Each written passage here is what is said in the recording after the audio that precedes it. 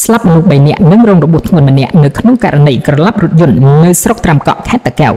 យ៉ាងហោចណាស់មានមនុស្សចំនួន4នាក់បានស្លាប់និងម្នាក់ទៀតបានរងរបួសដោយសារតែគ្រោះថ្នាក់ចរាចរណ៍នៅវេលាម៉ោង8យប់ថ្ងៃសៅរ៍ទី31ខែសីហាឆ្នាំ2024នៅចំណុចផ្លូវជាតិលេខ132ចន្លោះគីឡូម៉ែត្រលេខ3លេខ4ស្ថិតក្នុងភូមិមហាសេនាឃុំតាភេនស្រុកត្រាំកក់ខេត្តតាកែវករណីគ្រោះថ្នាក់ចរាចរណ៍ខាងលើនេះបានកើតឡើងដោយរថយន្តក្រឡាប់ខ្លួនឯងបើតាមសមត្ថកិច្ចមានរថយន្តមួយគ្រឿងម៉ាក Toyota ព្រុសពណ៌ខៀវពាក់ស្លាកលេខភ្នំពេញ2 BF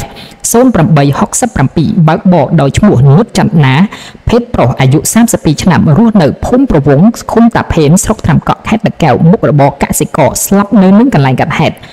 ដោយមានអ្នករួមដំណើរជាមួយចំនួន4នាក់ទី1ឈ្មោះសនស៊ីវលីភេទស្រីអាយុ8ឆ្នាំមុខរបរសិស្សស្លាប់នៅនឹងកន្លែងកាត់ហេតុរស់នៅភូមិប្រវងឃុំតាភេនស្រុកត្រាំកក់ខេត្តតាកែវ ទី2ឈ្មោះកុងថៃភេទប្រុសអាយុ19ឆ្នាំមុខរបរកសិករស្លាប់នៅនឹងកន្លែងកាត់ហេតុរស់នៅភូមិប្រវងឃុំតាភេនស្រុកត្រាំកក់ខេត្តតាកែវទី3ឈ្មោះ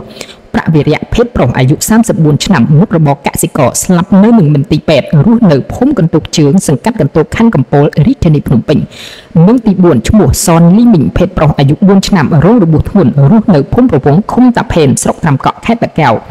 រថយន្តបានបើកបរមកពីទិសខាងលិចទៅកើតលុះមកដល់ចំណុចកើតហេតុខាងលើបានរេចង្កូតធ្លាក់ផ្លូវទៅបុកជាមួយនឹងក្បាលលូប្រឡាប់ចូលទឹកប្រឡាយពីខាងជើងផ្លូវបើតាមសមត្ថកិច្ចមូលហេតុនៃគ្រោះថ្នាក់ចរាចរណ៍ខាងលើនេះបណ្ដាលមកពីការបើកបរក្នុងល្បឿនលឿនខ្វះការប្រុងប្រយ័ត្នសាកសពបានប្រកល់ជូនសាច់ញាតិយកទៅធ្វើបុណ្យតាមប្រពៃណីរីឯជនរងគ្រោះបញ្ជូនទៅសង្គ្រោះបន្ទាន់នៅមន្ទីរពេទ្យបង្អែកក្រុងដូនកែវ